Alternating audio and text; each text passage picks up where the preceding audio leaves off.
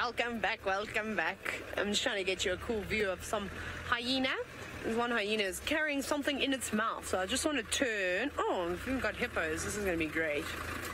There it goes. I don't know what it's managed to pick up, but it has stolen something. A chunk of. Looks like a skin of some sort. Not much meat left on there. Perhaps it is going to the tailor to get a bag made, like Scott was doing yesterday with his goat skin. No, I don't. That's terrible. I'm sorry, I didn't mean that.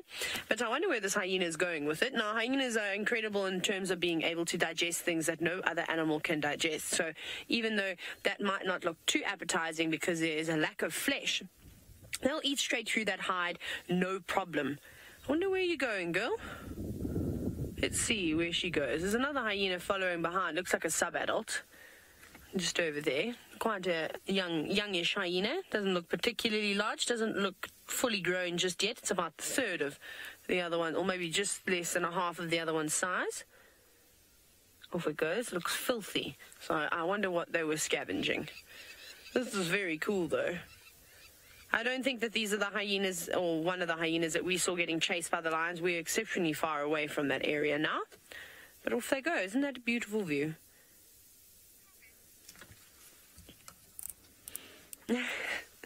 Dr. Rob, you share the same terrible sense of humor that I have. You said that it would make a, a, a very good bag. Of course, I was, we, we're just joking. We're just having a little bit of fun here.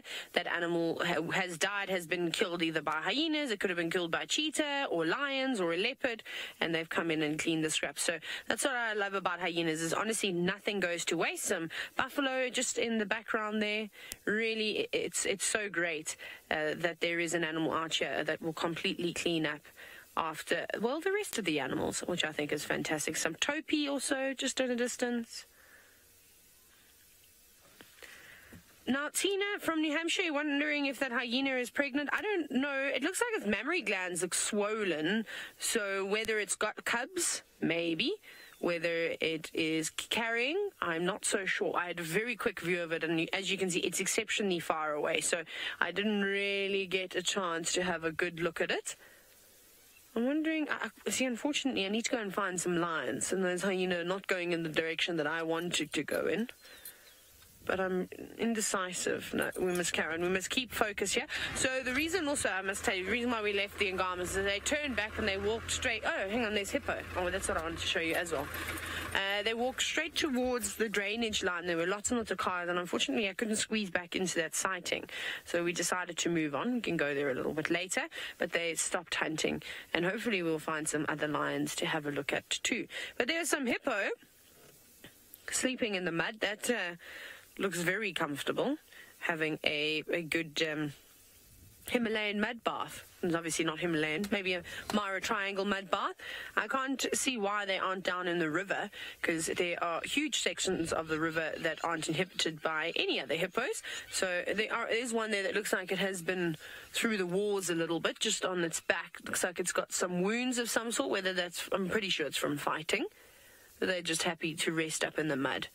This is what we typically see during the drought, is when there's no water left, they'll come into areas like this. But maybe if it gets too hot, then they will head down towards the water. Perhaps it was just to stay nice and cool the evening. It wasn't too cold last night either. But let's carry on. Let's, let's go on. Those hyenas are, they're on a mission. They're definitely on a move somewhere. Now, I would like to find a hyena den, especially from those clans that we see along the escarpment. I'm sure there's a den site somewhere, or more, there should be more than one den site. But it is quite difficult to try and find them. So just checking to see if there's anyone driving behind me. So we're just taking this river road. We're having a little squiz around here along this lugga, see if there's interesting, anything interesting lurking about, other than those hippos, and then that cool sighting of the hyenas. Not so much. Maybe as we venture along this way, there seems to be quite a bit of game from buffalo to lots of waterbuck, zebra. So there should be some predators about. That's the idea anyway. If I was a lion, I'd hang around here. But it's difficult for them to hunt. It, this grass has been grazed so short there's not much for them to really hide behind. And well, speaking of checking the river, Tristan's not going to be checking a river because there's not many water systems up and down in the Sabi Sand, but he's at one of my favorite dams, Buffelshoek.